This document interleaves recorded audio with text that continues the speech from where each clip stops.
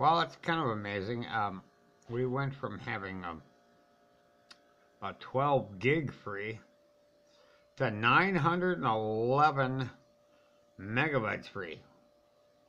So now we're letting Windows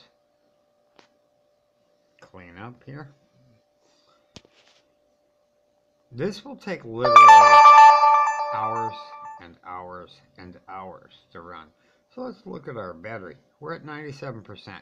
Let's just check that in a few minutes when it's done.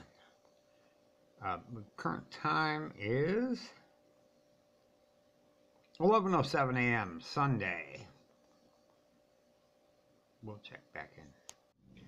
Well, after poking around a bit, I have found the Windows old folder is sucking up 15.8 gigabytes. I'm going to delete that. Who knows? Maybe that'll free up some of the space on my damn hard drive that is missing. Mm-hmm. yeah. We'll see. Wow. You would think Windows would have got rid of that, but it's okay.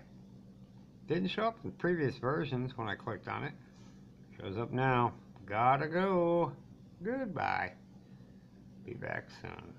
So here we are, still doing the dump. About five minutes later. Yeah, it's gonna ask for all kinds of, you know, do you have permission? Do you want to really do this? Yeah. Say okay. Get rid of Windows old. You got one of these little tablets with only you know, 44 point some gigabytes to start with. And then Windows decides to suck up all of it. You're going to need to do this. So we're going to go and wait some more. It's 11.24 a.m. Still deleting. Why, yes. I had to apply attributes and give it admin permissions. Two hours and 55 minutes to get rid of crap that you should just be able to wipe the whole folder out. Thank you, Microsoft. You're doing a good job.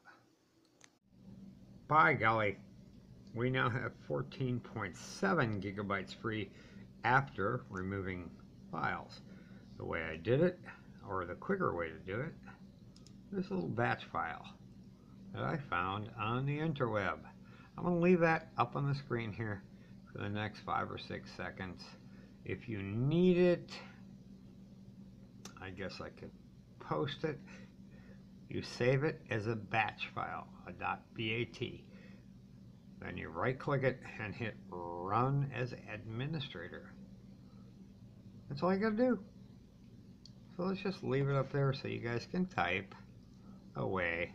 Or if you wish, I'll uh, I'll put the whole text of this in the uh, comment section of this video. That'll work too. Because, well, let's face it, it's easier to copy and paste than it is to do this. And then all of a sudden your windows.old folder will be gone. And you'll have all this extra disk space and that's especially important on a small tablet. Thanks. Later.